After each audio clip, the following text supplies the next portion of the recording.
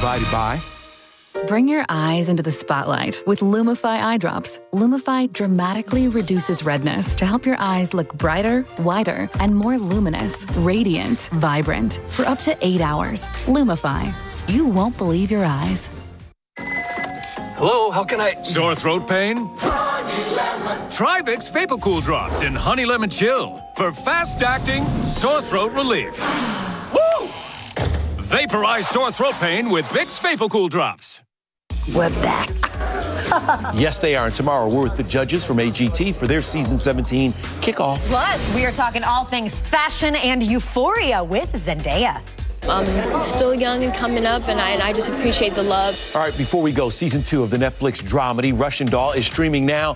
Fans have been waiting more than three years to see what's next for Natasha Lyonne's Nadia. Yes, and as for Natasha herself, mm. well, she revealed she has split from boyfriend of eight years, Fred Armisen. Happening now. A sigh of relief for a Paralympian whose stolen gold medals were finally returned. That's coming up. Do you know who your council person is? Well, that could be changing. Coming up, we're going to get city council members' reaction to their first look at a new redistricting map. Next. Plenty of clouds the past few days, but only limited real moisture to show for them. That could be changing, however, in the days ahead. We're going to talk about that in just a bit. The News at 5 starts right now. And first at 5, three gold medals back with their rightful owner after they were stolen over the weekend. Yeah, the video of the theft went viral. There you see it right behind us. Our Lee Waldman at Public Safety Headquarters. Lee, all that attention helped in the speedy recovery of these medals, correct? Exactly. The video that Jen Lee posted was shared and viewed hundreds of thousands of times. All of those eyes looking out for one person proved to be key in this case.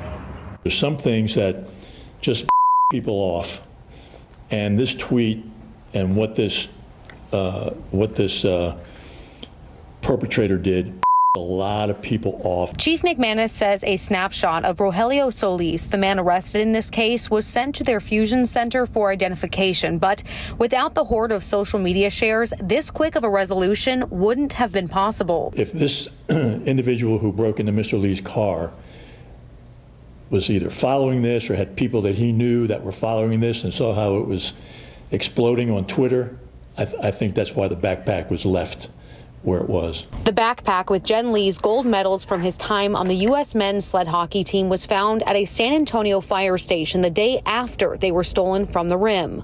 Today, the U.S. Marshals Service Lone Star Fugitive Task Force arrested Rogelio Solis on charges involving theft and burglary of a vehicle. He was found near Roosevelt Avenue and 410. Lee, a veteran and three time Paralympian, says he's beyond thankful to have his medals back. There's a good chance I was ready to prepare for a replica medal, and, and you know, it's, it's great to have it, but it's going to be definitely different because those this, these are right there on, uh, when we won it right on the ice, you know. So definitely, definitely just you know, still soaking it all in right now. On May 1st, Lee is heading to Washington, D.C. with the rest of his Paralympic teammates to go ahead and meet with the president. And he says he is so thankful to have his gold medals to take on that trip with him. I asked him if he's going to start reconsidering where he's keeping his backpack with his valuables in it. And he said, absolutely. Reporting live outside of public safety headquarters, Lee Waldman, KSAT 12 News.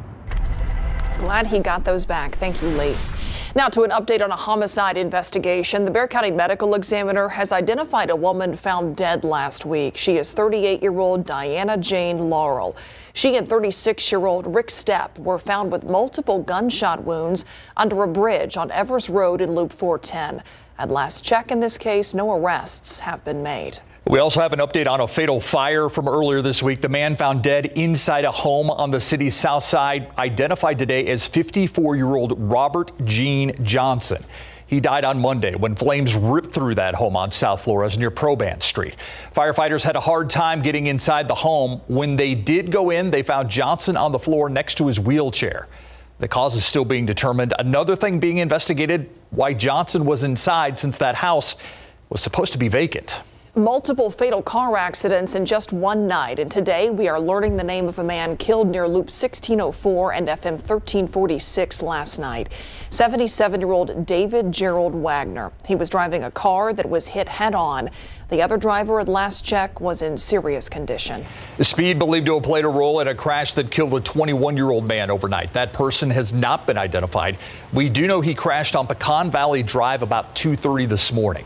San Antonio police believe he may have been driving too fast when he came to a corner. He hit a utility pole and died at the scene. We're also working to learn the name of another man who was hit and killed by two drivers last night.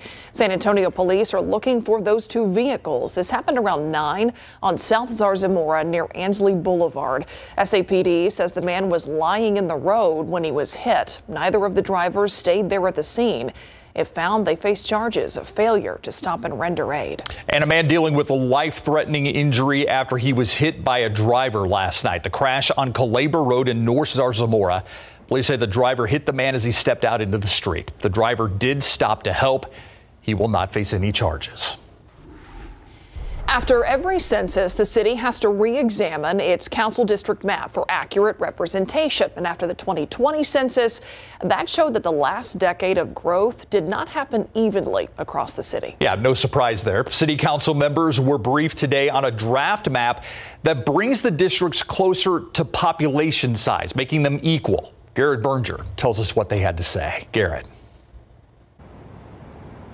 Well, Steve, this map, which is drawn up by a council appointed advisory committee, it was drawn up in a council in a series of public meetings by a council appointed advisory committee. Now, what they came up is up with is not the final product. This is just the first draft. Now, the map would shift the boundaries of every council district except District 3 over on the south and southeast side. The red lines on this map on your screen show that the current map boundaries.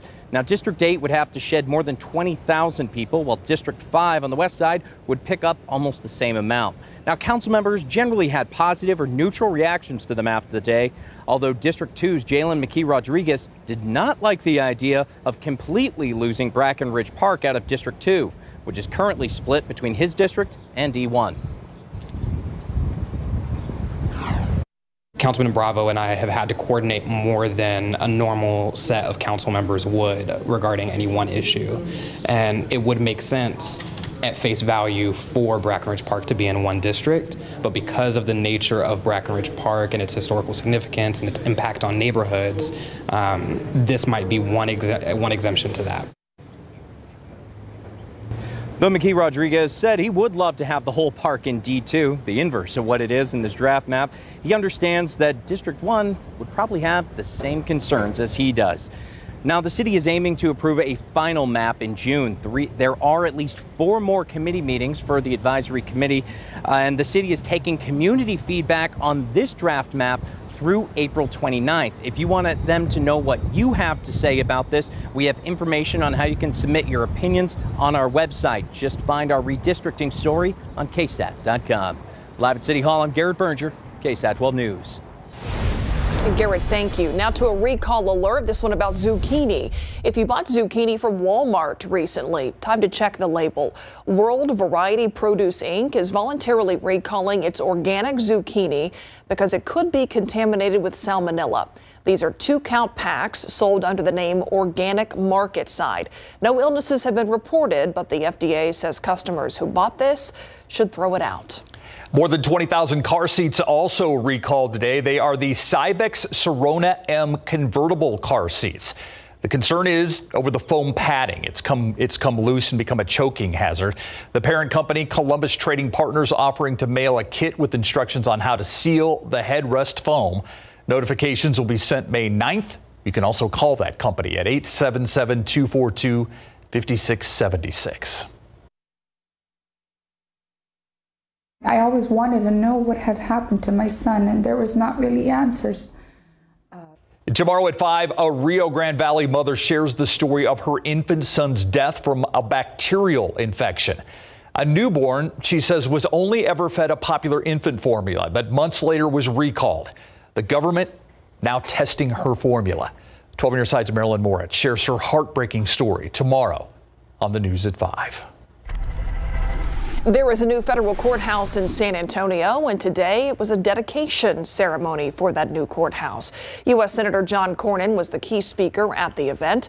Cornyn, part of the effort to secure funds for this new build since 2015, making it the eighth courthouse he's worked to build. Senator Cornyn also thanked Congressman Henry Cuellar for helping make this courthouse happen.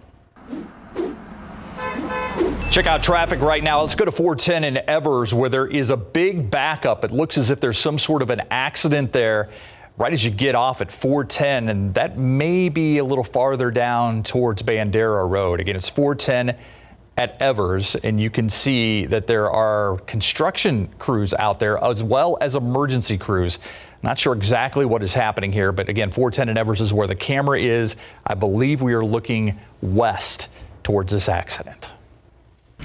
And despite all the cloud cover, we don't have the drizzle that we had this time yesterday. 83 degrees, our high temperature today. Right now, Eagle Pass at 84, Floresville 82, 79 West Kerrville, and 82 degrees near La Vernia. Plenty of cloud cover, just not a lot of moisture to really show for those clouds out there today. As we go through the rest of this evening, sunsets 8:04 p.m., mostly cloudy, a little humid out there, and then some more patchy drizzle. But promising rain chances down the line. We've been talking about Monday, and I've got an update to that forecast in just a bit. Thank you, Adam. It is a gift that saves a life. April is National Donate Life Month. We're highlighting the importance of being an organ donor. During today's KSAT Community Town Hall, we got the chance to hear from medical experts about what donating your organs can actually do for someone.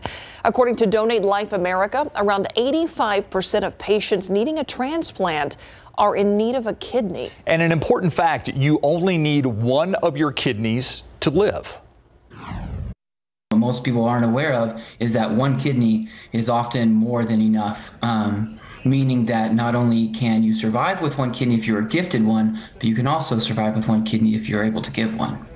If you missed the town hall this afternoon, you can watch it right now on ksat.com. We also have resources where you could learn more about organ donation. April also happens to be Autism Awareness Month, and in an effort to raise awareness, local artist Demas Martinez is working with the Autism Treatment Center for its 2022 art contest. Demas is known for creating customized kicks, so that's exactly what this contest is all about. Participants have till Friday to create their own custom kicks for a chance to win a gift card to Herweck's Art Supplies. This effort not only meaningful to the Autism Treatment Center, which helps hundreds of people with things like group homes and therapy. But it also has a special connection for Demas, whose son is on the spectrum.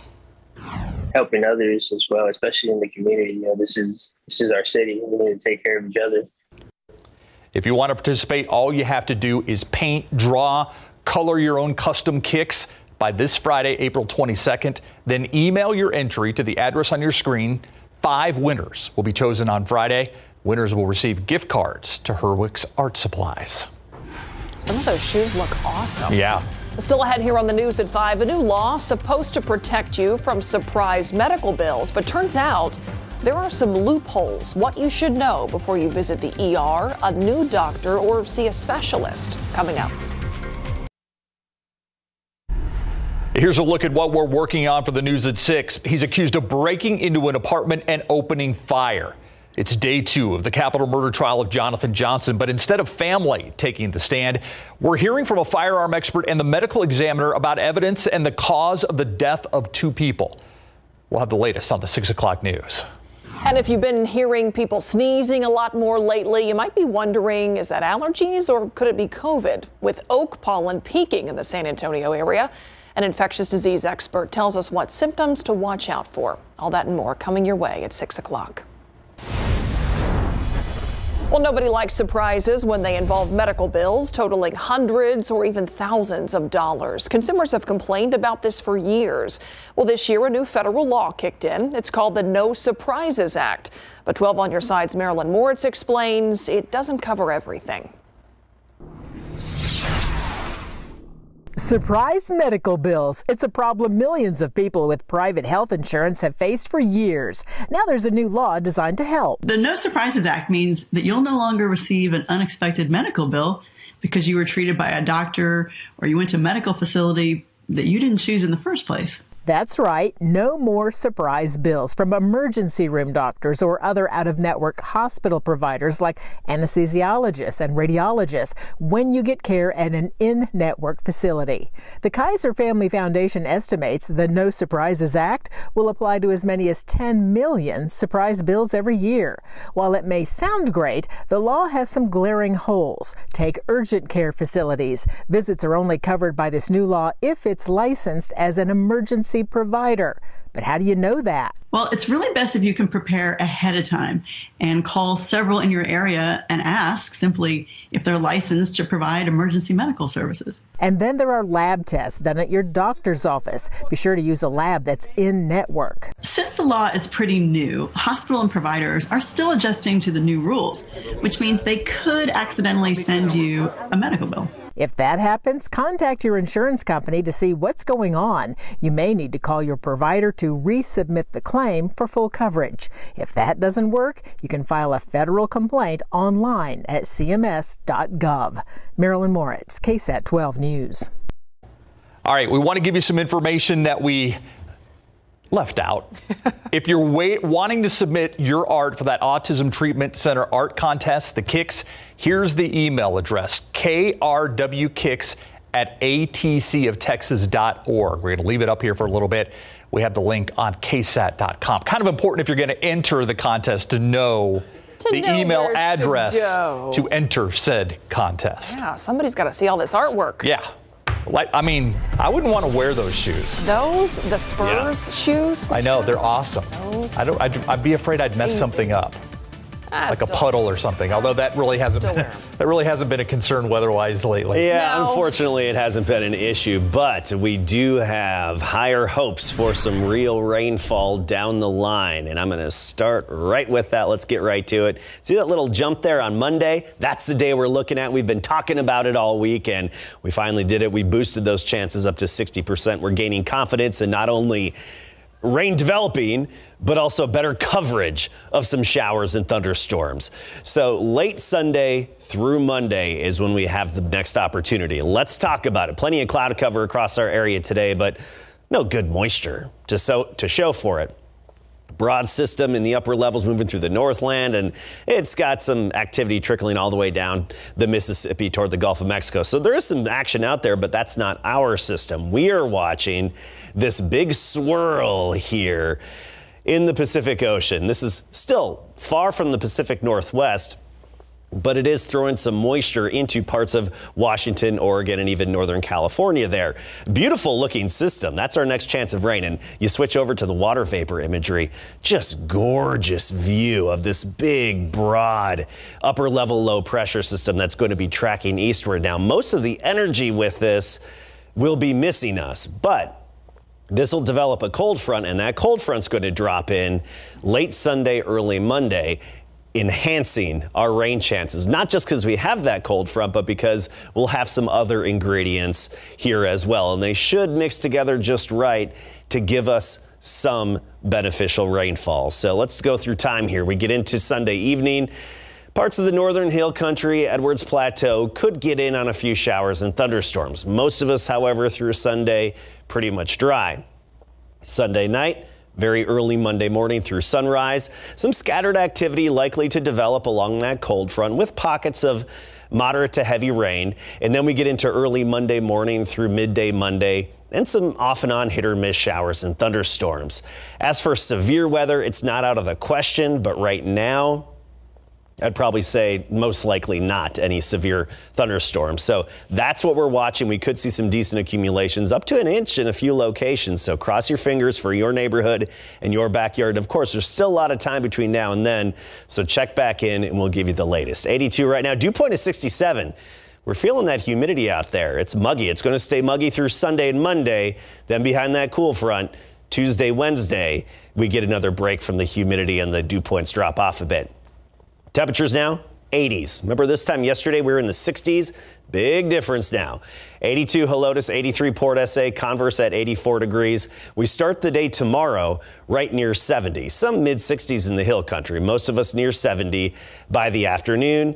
Well into the 80s, even 90 degrees in spots. Seguin, Converse, Converse 90, Divine 92, and Floresville about 91. Here's a look at your 12 hour forecast tomorrow. Some patchy drizzle early, so the low clouds, they'll dominate tonight and they'll even fill in overnight tonight. And then it's going to be a little damp in the morning tomorrow near 70 degrees by the noon hour. Starting to see some breaks in those clouds at 80 and then well into the 80s to near 90 by the afternoon and partly cloudy. Bit windy, bit windy every day all the way through the weekend. Highs in the upper 80s until Monday with that better chance of rain back down in the 70s. All right. Thank you, Adam.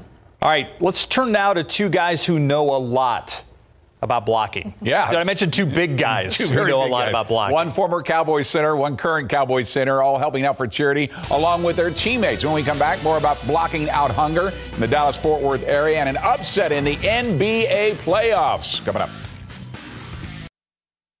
Pro football coverage powered by Davis Law Firm. Even though Travis Frederick was forced into NFL retirement due to the Guillain-Barré syndrome that has not stopped him from raising money for blocking out hunger charities, joining in his effort to feed the children of the Dallas-Fort Worth area by his replacement Tyler Biadasz during the charitable event this week. They were joined by Cowboy standouts Dak Prescott and Ezekiel Elliott.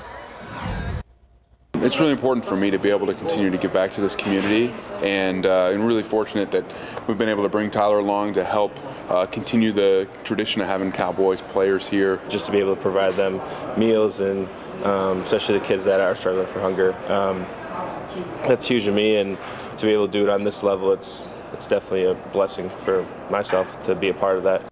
The marquee matchup in the KSAT Pigskin Classic that's coming August 27 will feature the Brennan Bears against the Steele Knights in the primetime game of the triple header. The Bears were beasts in 2021 as they ran the table in the regular season to finish 10 and 0 overall. We're on their way to state with victories over Laredo United, Los Fresnos, Austin Bowie by averaging 59 points a game in the postseason, only to fall to Lake Travis 42-17 in the state quarterfinals. Now they face the Knights to open their season after Steele did the same thing in the regular season, also going 7 0 in district, 10 0 with their season coming to an end in their 38 0 having lost to Austin Vandegrift.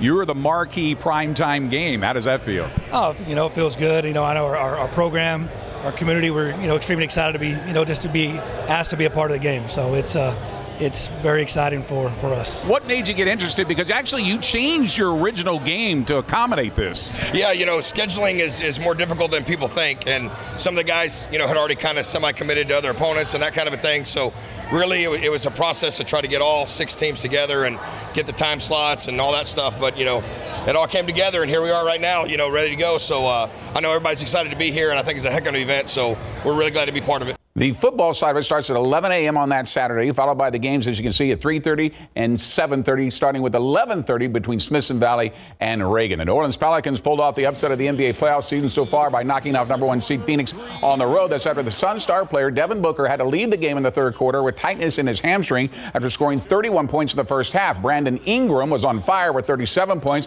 11 rebounds, and nine assists in the 125 to 114 upset. Now there is talk that Devin Booker may not be able to play for the next two games. That could be a problem. That could spell trouble. Yes, it did. Yeah. Thanks, Greg. We'll be right back. All right, before we go, I want to show you 410 and Evers.